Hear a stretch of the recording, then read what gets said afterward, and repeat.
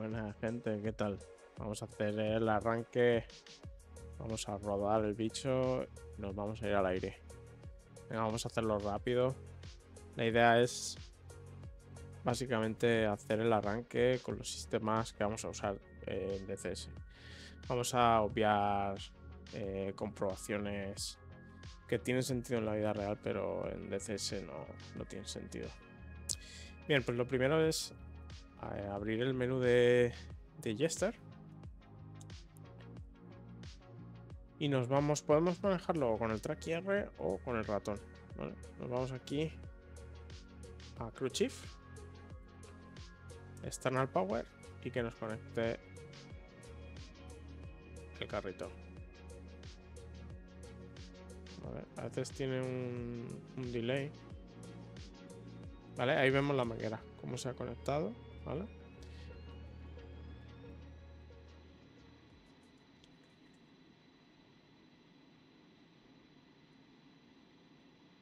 ¿Vale?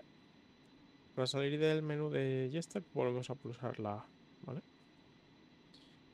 Una vez conectado el, el carro, vamos a conectar los generadores, el derecho e izquierdo, en externo, hacia abajo como podemos ver, el avión empieza a ponerse en funcionamiento, ¿vale?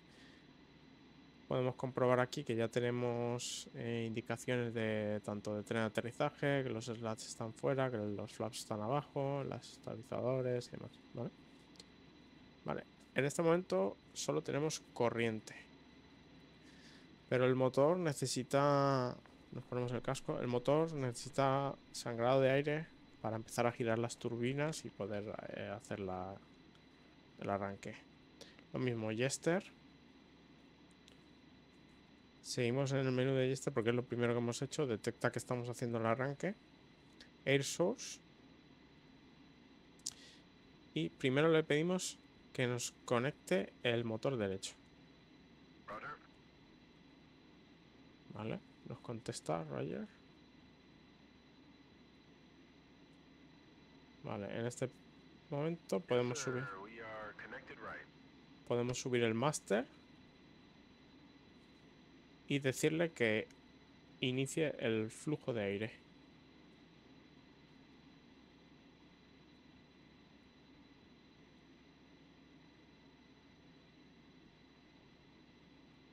A veces tarda en... Vale, vemos ahí como el reloj empieza a girar. Llegará al 10%.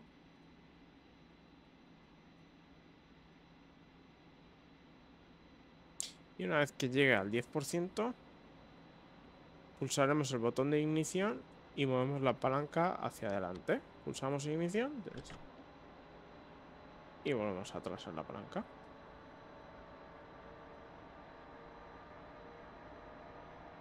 Monitorizamos el motor.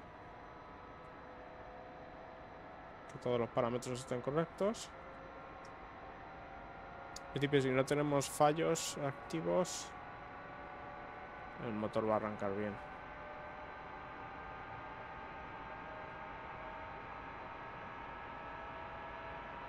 Luego también podríamos, mediante el manual, nos venimos a procedimientos normales.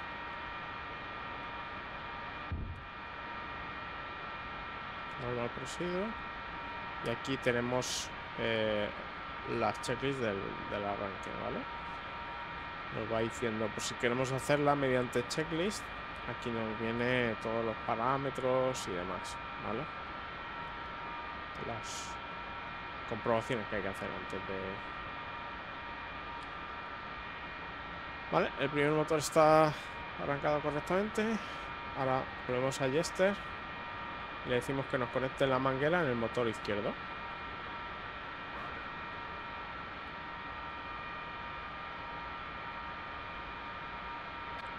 Además se puede ver, ¿eh? Como... Ahí vemos como ha pasado la manguera al motor izquierdo. ¿Vale? Antes estaba ahí, en el derecho, ahora está ahí en el izquierdo. ¿Vale? Pues mismo procedimiento. Master de Engine. Vamos a pedirle al crew que suministre aire.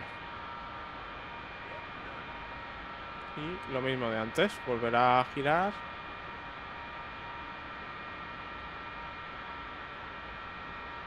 Cuando lleguemos a 10. ¿Vale? En este punto, en 10%. Ignición. Desblocamos. Palanca hasta la mitad. Y volvemos.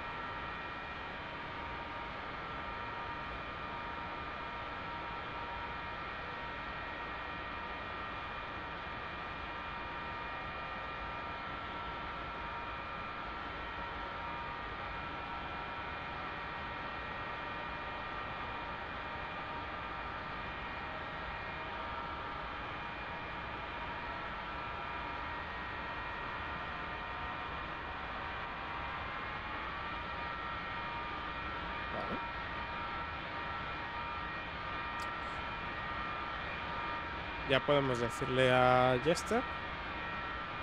Perdón, a Jester, a Puchi. Que es el 7. Le podemos decir que desconecte el... Flujo de aire. El carrito, vamos a decirlo, que nos suministra la neumática. Vamos a conectar los generadores. Entrar los generadores en barra y sabemos que han entrado porque lo primero que va a hacer eh, Jester es preguntarnos si queremos alinear. Ahí está. Le damos a que queremos alinear. Le decimos que sí, que estamos ready para alineado. Y nos pregunta qué tipo de alineado, alineado completo o bath, que es este tipo de alineado es el básico, ¿vale? Decirlo que lo alineé básicamente. Tiene un error de unas 5 millas aproximadamente, como máximo, 5 millas náuticas. Pero para lo que vamos a hacer ahora nos sirve. Si no, el alineado completo tarda unos, 10 minutos. Y ahora vamos a empezar a barrir de izquierda a derecha todos los sistemas que tenemos que tener conectados y demás. Este es el procedimiento de uso en DCS. Eh, fuera de CS tendrá otro procedimiento, que es el procedimiento real. Y tiene sus motivos para hacer las cosas de forma distinta o distinto orden. Bien, comprobamos que no tenemos tanques de combustible externos. Eh, si tuviéramos los externos, las puntas de las alas, los seleccionaríamos ahora. Si tuviéramos el central y no externos, eh, el manual recomienda conectar el central en vuelo, pero podríamos ponerlo. Eh, por ejemplo, aquí podríamos comprobar las, las boost pumps y demás que funcionan, pero bueno, aquí ya las estamos viendo que están, están funcionando. Aumentadores de estabilidad, los vamos a conectar ya. En la vida real se esperaban a, a la pista para conectarlos porque eran sistemas un poco dedicados. Navegación de momento no vamos a seleccionar nada. Vale, ya nos dice el Jester que está ready para, hacer taxi. Bien, vamos a resetear el indicador este. Lo primero tendríamos que pasar eh, con el clic derecho e izquierdo, perdón, eh, hasta que se salga la banderita esta de standby. Vale, comprobamos la, el QNH, que sea el correcto. Reseteamos el sistema. Antena arriba. Conectamos oxígeno oxígeno normal. Podríamos hacer un test de oxígeno. Se escucha al piloto respirar. Anti-skid cuando hagamos un arranque en frío va a estar en off. Lo podemos conectar ya vale bien algo muy importante. El estabilizador el menos 3 vale trimando hacia abajo menos 3 Podemos poner ya las taxi light. Bajamos flaps. No vamos a armar nada por aquí. una de las cosas que nos habrá dicho el Jester ya es que podemos poner el horizonte en, en Prime y ahora cuando termine de girar resetearlo.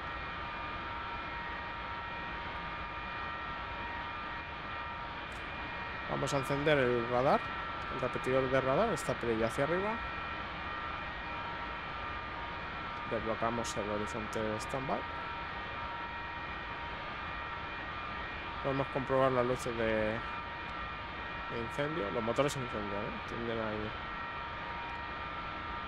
Yo, por lo general, lo pongo ya en standby para que vaya calentando y tal. Pero bueno, si lo quieres tener el, colimatado, lo pones ya. Si no, lo puedes dejar apagado. Molesta un poco. Vale, de aquí, eh, Tacan, si tenemos algún Tacan en transmitir recibir. Eso tenemos el Master Caution, aunque va a seguir porque tenemos la cabina abierta. De momento esto lo dejamos, no necesitamos el pito hit. Antena UHF en transmitir recibir una guardia. El IFF lo pasamos a normal. Luces de instrumentos como se requiera. Luces externas. Vamos a encender las luces externas. Y de aquí pues ya no nos queda nada, ¿vale? Estamos listos a hacer taxi. Le pedimos que desconecte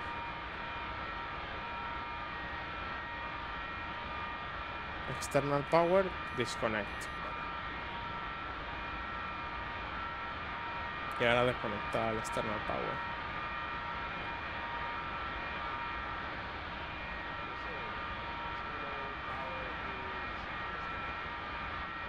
Vale, nos ha dicho ahí unas cosas de que, bueno, ha desconectado. Ya podemos rodar. Si nos olvidamos de desconectar o pasa cualquier cosa, en el momento en que apliquemos eh, un poco de potencia a los motores, eh, estos desaparece el carrito. Ya tenemos el RWR enchufado. En la vida real había que tenerlo apagado hasta cierta fase del vuelo para que no se precalentara y demás, pero bueno. Vale, pues estamos listos. ¿Cómo funciona este avión? Mira, con que lo avancemos un pelín. Con un pelín saldría. ¿Por qué no se mueve el avión? Porque el cachondo del crew chief no nos quita los calzos. Tenemos que decirle que los elimine.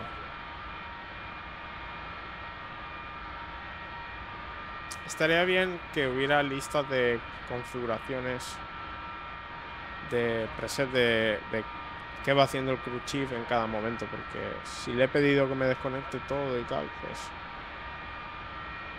lo normal sería que que me hubiera quitado todo. Vale, vamos a ver hacia dónde vamos a rodar. Estamos aquí, en este de aquí. Vale, rodamos izquierda, izquierda y nos vamos a la pista. Bien, ahora sí,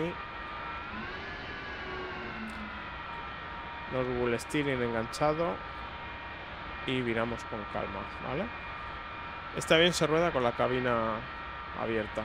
Para evitar, en caso de que haya cualquier problema, que no salte el asiento de dirección. Se rueda en idle, lo que significa que no hace falta aplicar casi potencia para, para rodarlo. se aplica la potencia inicial, que es la que rompe con la fricción inicial, pero después, como podéis ver, el, avión casi casi va va solo. Vale, el Jester nos está preguntando ahora si vamos a subir o bajar mucho en el vuelo. Vamos a ir bajos. decimos que sí, que vamos a ir bajos y que vamos a bajar por, por debajo de 50 pies. En principio, eh, eso está hecho para para que el Jester sea un poco más permisivo con con el tema de cuando inyectarse en caso de emergencia. Pero bueno, no funciona muy bien. Vale, rodamos muy suaves. Está bien, se rueda como si fuera un avión de, línea. Vale. No hay que dejarlo correr mucho. Vamos a cerrar ya la cabina. Los motores son...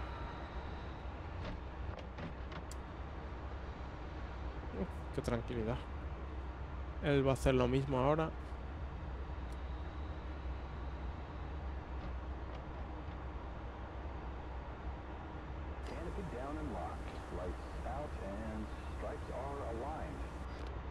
Vale, nos dice que la cabina está cerrada y que está todo preparado. Vamos a hacer una revisión general de que todo esté correcto. Siempre miramos el, compensador, que esté en menos 3.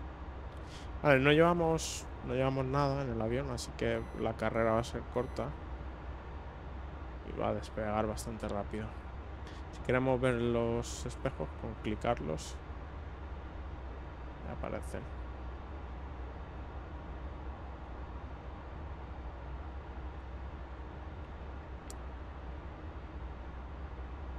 Cuando vayamos rodando, hay que tener en cuenta si llevamos mucha carga, hay que tratar el avión como lo que es, es una plataforma que pesa muchísimo y que tiene una inercia, ¿vale?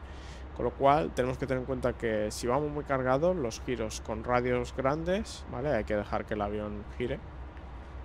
Y siempre lo más despacio posible, ¿vale? Ahora, por ejemplo, vamos rodando a unos 12 nudos, ¿vale? Lo vemos ahí en el true. Ahí está el indicador de true. Que eso, bueno, puede variar porque nos puede dar ráfagas de aire y demás. Pero nos sirve para más o menos medir la velocidad inicial. En teoría hay que intentar no pasar de de 15 nudos. Ahora podríamos comprobar si los aerofrenos se extienden. Vamos ahí a la la posición de los slats, de los flaps.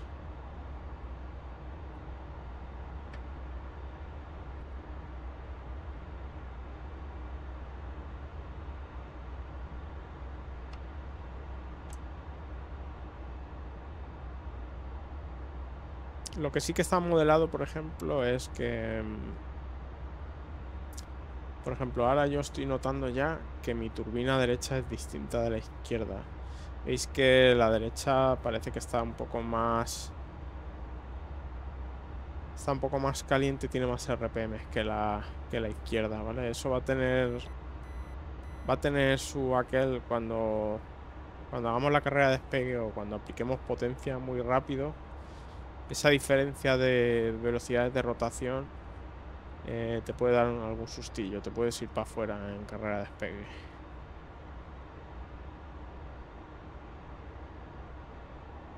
Y de hecho las bombas de la succión de los, los boosts están también distintas.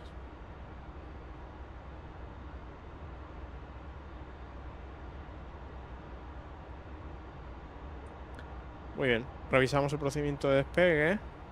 Vamos a poner las landing light. La palanca tiene que estar hacia mí al, máximo, ¿vale? El avión va a hacer la carrera de despegue y llegará a un punto en el que él solo empieza a levantar el morro. Una vez que levante el morro, despacio vamos, vamos soltando la palanca, ¿vale? Y el avión va a rotar. Si nos olvidásemos de hacer el procedimiento, seguimos con la palanca como está ahora, veremos que el avión empieza a coger mucha velocidad, mucha velocidad, mucha velocidad y instintivamente vamos a meter palanca. Y al meter palanca con mucha velocidad, vamos a tocar con la cola en la pista. Por eso es muy importante hacer ese procedimiento. Vale, lo centramos. Y lo frenamos. Bien. Bueno, como tenemos parámetros distintos de motor, Vamos a avanzar hasta el 85% ambos.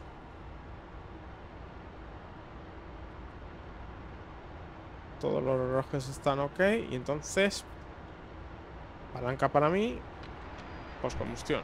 Soltamos frenos. Hay que tener en cuenta que más o menos empieza a rotar a 150 por ahí. Ahí está. Mantengo, mantengo, mantengo. Subo tren de aterrizaje. Subo flaps. Si, su, si por algún motivo se nos olvida subir los flaps, eh, ellos solo van a, van a subir. Ahí está el indicador de ruedas que están en operación.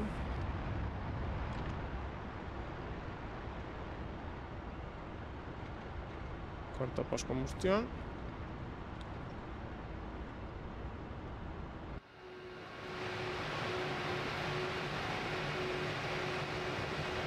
Ahí está el despegue.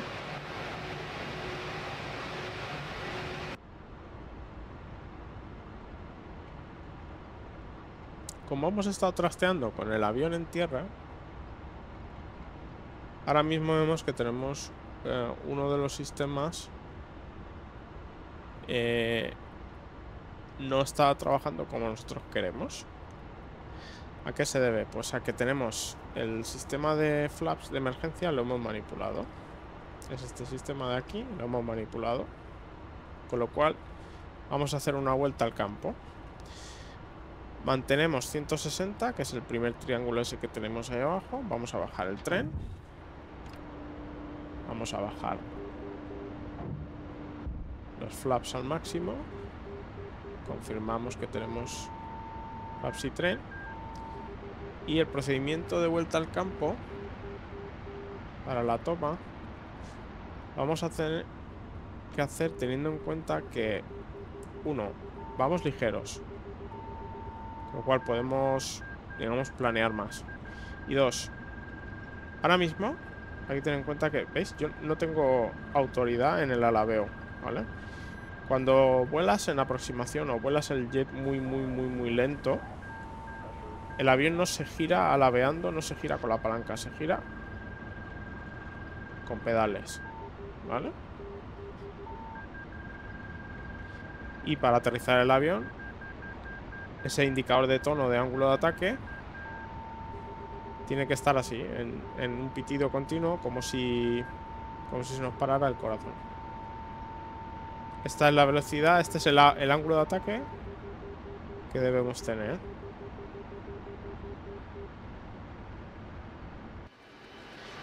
Como en el vídeo anterior hemos estado haciendo eh, comprobaciones de cabina y demás, uno de los pasos que hemos hecho ha sido eh, sin querer sacar el, los flaps de emergencia, por eso no retrae. Pero bueno, no pasa nada, volvemos al campo y así practicamos un aterrizaje.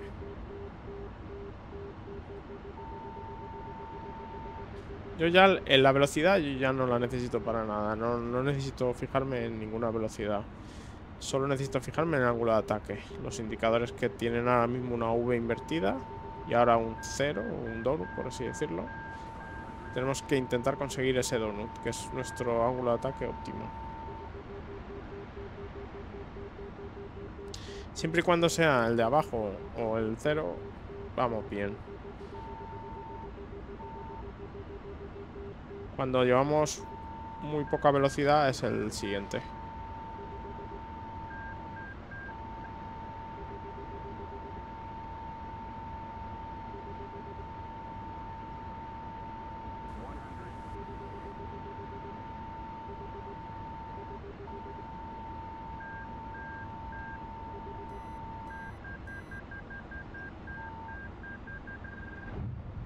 Vale, toma dura, toma segura. este avión era, era de aterrizaje en Arena, así que el tren lo tiene fuerte. Vale, esa es la palanca de de paracaídas de frenado.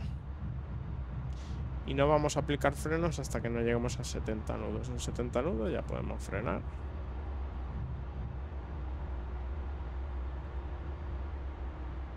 Ahora tranquilamente seccionamos el paracaídas.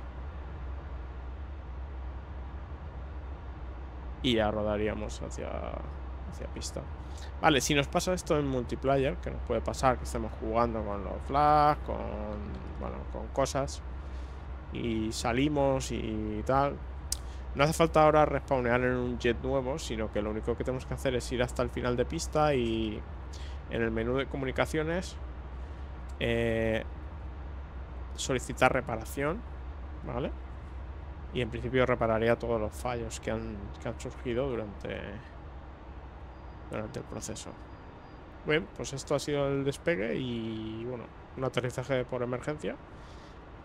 Siguiente tutorial va a ser el manejo del radar, las, las armas de aire-aire, que son muy, muy sencillitas. Los pasos a tener en cuenta a, usarlo.